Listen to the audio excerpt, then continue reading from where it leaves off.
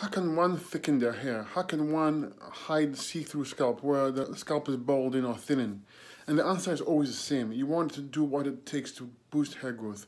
Two steps. One, make sure you change your diet from a meat-eating, animal product diet to fruits-only diet. Second, you want to boost blood flow to the scalp by using a product like Grow Hair Oil. I'll explain one after the other. The first one, Remove any acid-causing foods from your diet. This includes animal products, starchy foods, processed foods. You see, these foods will cause your lymphatic system, which is your main sewer system of the body or the main immune system of the body, to stagnate or to back up. And when it backs up, the acids that these that the lymphatic system removes can no longer be removed.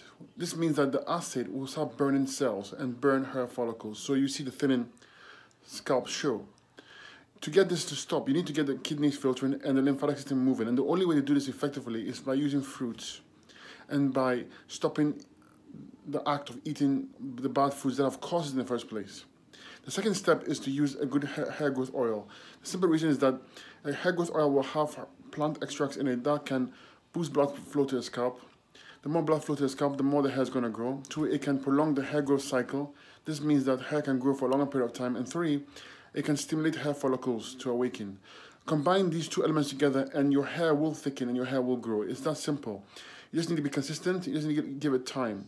Do not expect your hair to grow the next day. Hair doesn't take, grow this fast. It takes a while and it accumulates. So you may not see actual hair growth in days, but it's building up. And before you know it, you have thicker, longer, and healthier hair.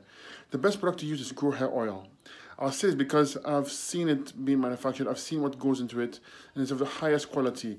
And yes, it might be a bit expensive, and it's expensive for the reason is that they, we use only the best raw materials at the highest concentration possible. When you buy a cheap oil, there's nothing in there but oil. You get no benefits whatsoever. You pay for what you get here, okay? All the plants we use are, are very rare, very expensive. You cannot make them cheaply. There's no way to bring them from India in a cheap rate and make them so cheap that you can pay five, six bucks for it. Impossible. So I hope this helped you. Yes, so yes, you can thicken your hair and you can grow your hair. Just follow the two steps I showed you right here and you'll be amazed.